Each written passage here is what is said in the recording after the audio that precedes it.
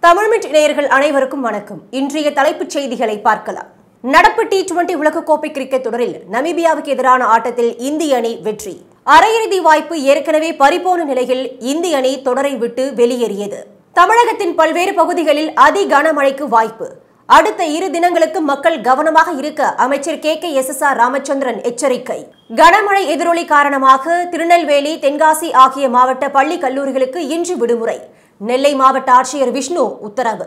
வேகமாக நிரம்பி வருவதால் மேட்டூர் அணை திறப்பு. காவிரி ஆற்றங்கரையோர் மக்களுக்கு வெள்ள அபாய எச்சரிக்கை. ரெட் அலர்ட் வந்தவுடன் ஸ்டாலின் அரசு முன்னெச்சரிக்கை நடவடிக்கை எடுத்திருக்க வேண்டும். தமிழக அரசு எதிர்க்கட்சித் தலைவர் எடப்பாடி பழனிசாமி விமர்சனம்.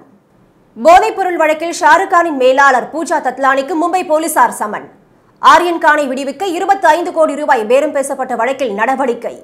இங்கிலாந்தை மீண்டும் அச்சுறுத்தும் கொரோனா வைரஸ். ஒரே நாளில் முப்பத்தி இரண்டாயிரத்து முன்னூற்றி இருபத்தி இரண்டு பேருக்கு பாதிப்பு. இலங்கையில் கொட்டை தீர்க்கும் கனமழை. ஆறு பேர் உயிரிழப்பு. ஆயிரக்கணக்கானோர் பாதிப்பு. இத்துடன் தமிழ் மின்றின் தலைப்புச் செய்திகள் நிறைவு பெறுகிறது. தொடர்ந்து இணைந்திருங்கள் தமிழ் மின்ட் உடன்.